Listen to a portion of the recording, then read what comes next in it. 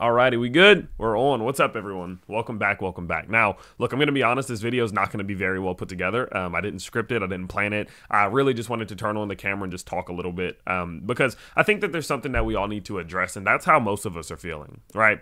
Now, what we're seeing in the market a lot right now across a lot of YouTube, let's turn you this way a little bit, across YouTube, across many of the other platforms, socials, crypto, Twitter, etc., is that a lot of people are leaving the space. Now, not only are a lot of people leaving the space, but even notable people, right? Some of these institutional investors that were once a part of it are leaving it or selling. Some of these VCs that were once a major driving force in it are leaving or selling, right? We're seeing a lot of just widespread disarray amongst the cryptoverse. And although it is scary and it is something that I do understand, I do believe that it's kind of a, a telltale sign of where we're very likely at within this entire cyclical market. Now, I want to talk about me personally for a second because I, I feel like many of you may not feel as if you can relate to some of the influencers in the space that talk about this, right? They're all saying, listen, you got to you know, build right now. You got to be excited right now. Buy when people are angry and buy when people are scared and do this, do this, do this. But what I want you to understand is that as someone who does own my own agency that is in contact with over 30 YouTubers, we are all feeling the same way, right? I know in this space sometimes it feels like the influencers and, you know, with our crazy ass clickbait titles and things like that, we're always seeming so optimistic.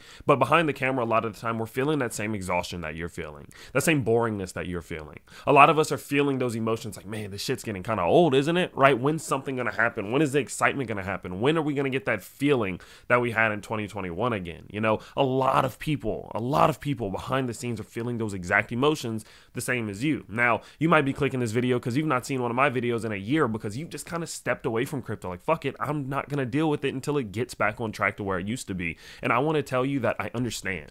As a YouTuber, I'm sure you've noticed my video upload content isn't daily anymore. It's every two or three days now. And that's just because the amount of content and the things that there are to be excited about in the space and things to talk about in the space has dwindled quite a bit. You know, there obviously is the bad news, but what you've come to notice is that on my channel, I'm not really a bad news guy. I don't really like to just go over the bad shit 24 7. I just like to talk about levels of optimism. Obviously, we do do a lot of trading on this channel, a lot of charting and things of that nature, but even the charts have been boring. What, 70 days, 80 days now of sideways movement is kind of hard to keep up with. And that's a rather consistent thing within this cryptoverse during bear markets. So, what I want to tell you is those of you who have left, or those of you who are wanting to leave, or feeling exhausted from a personal standpoint, I do understand. But let me tell you exactly what I'm doing. And as a result of, you know, how I'm feeling, how I'm going about it.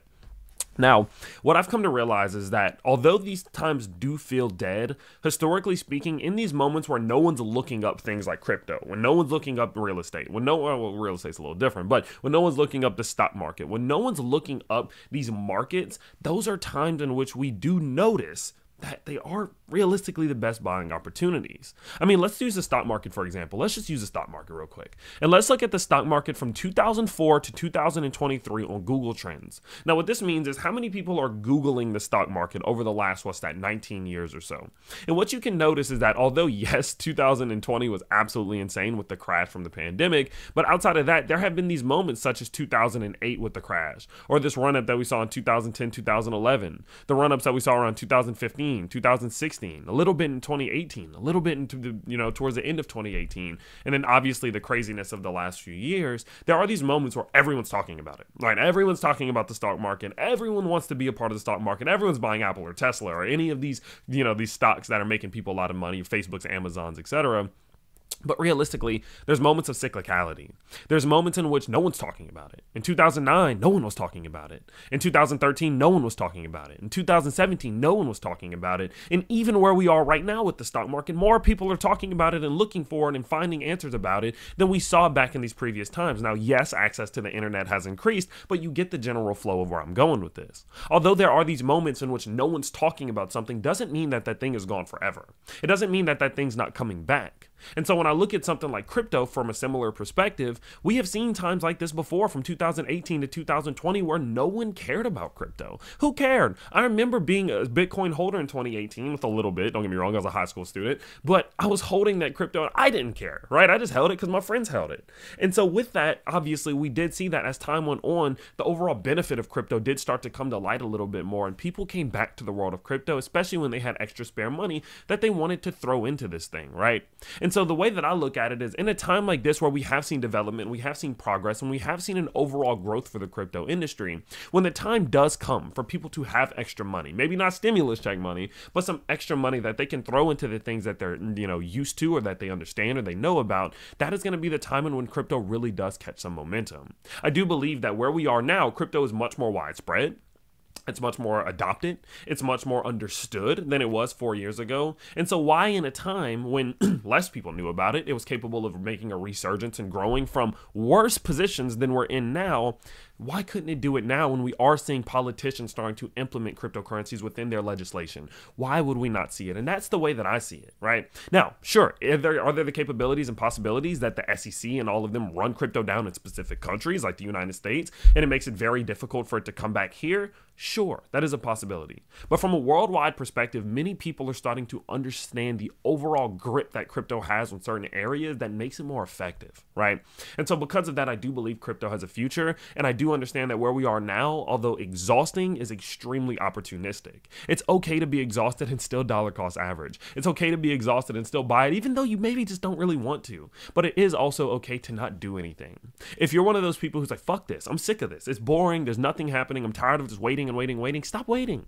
It's now time to go do something else. It's okay. But what I would say is that keep an eye on crypto because when the tide does shift, you want to be a part of it early because it might be too late by the time you really catch back on. And so if you're one of the people who wants to leave crypto, if you're one of the people who doesn't want to be a part of this anymore, go do what you got to do. Go enjoy life. Go find the values in life. Go look for the things that make you genuinely happy because in the times we're in right now, especially in this country, shit's a little bit ugly, right? So go do what you got to do, but keep an eye on it. Because I would honestly say that where we are in this market, we're probably closer to things getting better than we are to when things were very ugly. And so if you made it this far, I would tell most of my friends, hey, just stick it out and see what happens. But if you're just done, if you're exhausted, if you're ready to leave, I understand, but just keep an eye on crypto. Those of you who are still opportunistic like myself, those of you who do want to stay a part of this space, those of you other influencers and creators and things of that nature within this space, it is time to build. Although I have been exhausted in posting a little bit less on YouTube or posting a little bit less on Discord, I have been building other businesses that are cryptocurrency related because I understand that when things start to break back down, it poses the ability for you to find the opportunity and how to build it back up. And so, what my goal is right now is to take where we are right now and build on top of it so that when time does come for crypto to make its resurgence, I can be a part of the major players that allows that to happen, right? And so, if you're one of those people, start building. Now's the time to really double down. Start looking for other opportunities, looking for ways to expand your business, looking for ways to expand your skill set and your mindset on how you can contribute to the crypto space. Because if you do, and if I'm right, and crypto makes its resurgence, well, I do believe there can be a lot of success found there. And so, with that said, I just wanted to let you know I understand understand, okay? I do understand, and I feel it too. This shit gets boring, but that's all a part of the game. Just like the stock market saw it back in some of these other times, the future does move on, and times do continue on. And if it, crypto will move anything like the stock market, well, from 2000, you know, from 1984 to 2023, although times do get boring, they do seemingly still get better. And so, with that said, I will continue to update you. I do have some more content dropping this week. I am currently on a cruise as you do watch this, so make sure you do pay attention for when the notifications go out because those videos, of course, are coming at you every few days. So with that said, I hope you guys did enjoy, and well, I will see you all next time. Peace out, everybody.